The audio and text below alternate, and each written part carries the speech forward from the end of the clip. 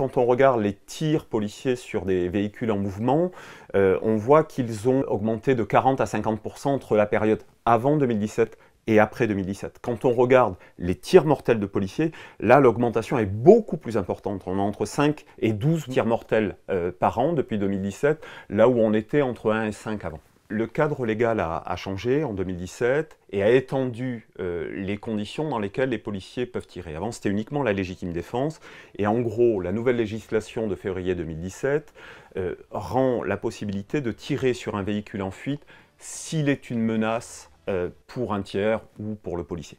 Et en fait, euh, les conditions d'interprétation euh, d'un véhicule en fuite qui constitue une menace pour la vie d'un tiers sont très difficiles. En fait, ça pose une question de quelles sont les instructions données aux policiers et ça pose une autre question de quelles sont les formations pour les policiers. Or, on voit que sur ces deux points-là, les instructions n'ont pas nécessairement été claires. On a vu une très forte augmentation sur 2017-2018 parce que les instructions insistaient sur la liberté euh, donnée aux policiers et le temps de formation consacré obligatoirement à l'usage du tir est euh, notoirement non employé par les policiers. Quand vous êtes policier, vous avez trois séances euh, de tir obligatoires par an et vous avez un certain nombre d'heures, entre 10 et 15 heures, d'utilisation des armes.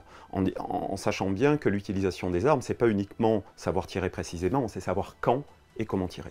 Et de ce point de vue-là, le constat qui est fait, mais c'est un constat plus général sur la formation continue, c'est la sous-utilisation de la formation continue dans un contexte et un métier où euh, la logique est d'abord et avant tout à l'opérationnel. Quand on parle de formation, il y a une double question, une formation initiale et une formation continue.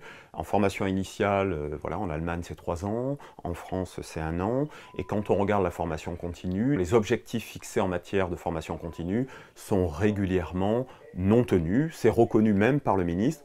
La direction de la formation est un peu le parent pauvre de la police nationale, ce qui est bien dommage parce qu'en fait on axe beaucoup sur euh, le personnel, les effectifs, sur euh, les, rémunérations, plus récemment sur les équipements.